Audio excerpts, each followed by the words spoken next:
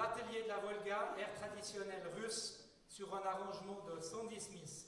C'est une célèbre chanson traditionnelle russe qui dépeignait la souffrance des basses classes de la Russie impériale